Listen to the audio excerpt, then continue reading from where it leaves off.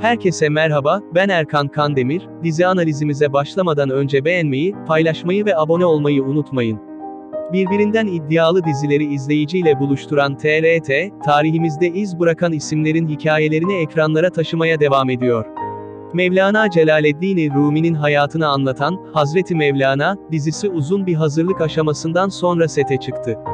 Dizi çok yakında TRT'de izleyiciyle buluşacak. Çekimleri TRT Uluslararası Konya Film Platolarında gerçekleştirilen TRT'nin Hazreti Mevlana dizisinde 2 yıl süren hazırlık aşamasının ardından çekimler başladı. Dizide Mevlana Celaleddin Rumi'yi Bülent İnal canlandıracak. Hazreti Mevlana dizisi için 50 dönümlük alana 13. Yüzyıl Selçuklu Konya'sının dış ve iç suru inşa edildi.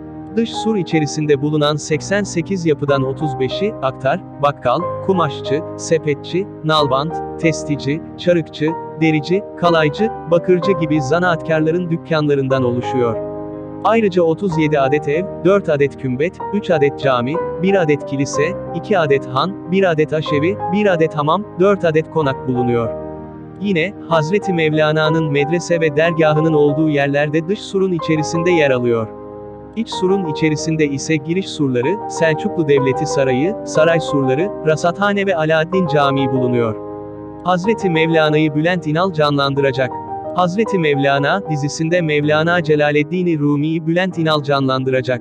Diğer önemli rolleri ise Kaan Yıldırım, Ahu Türkpençe, İlker Aksum, Usan Çakır, Levent Can, Devrim Özkan, Burç Kümbetlioğlu, Mert Turak, Erdal Yıldız, Yusuf Çim, Mert Karabulut, Turgay Aydın, Can Nergis, Semra Dinçer, Baki Davrak, Burak Can, Gizem Aydın, Muhammed Emre Kaya, Musa Evren, Betigül Ceylan ve Haluk Piyes gibi birbirinden önemli isimler üstleniyor. Yapımcılığını Ahmet Okur ve Kerim Ay Yıldız, yönetmenliğini Can Ulkay'ın üstlendiği dizinin görüntü yönetmenliğini ise ünlü görüntü yönetmeni İtalyan Cesar Danese yapıyor.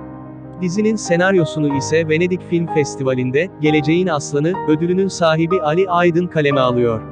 Mevlana Celaleddin Rumi'nin hayatının anlatılacağı dizi çok yakında TRT'de izleyiciyle buluşacak. Beğendiyseniz kanalımızı beğen tuşuna basarak ve abone olarak sayımızı hep birlikte görelim. Kendinize iyi bakın başka videoda görüşmek üzere.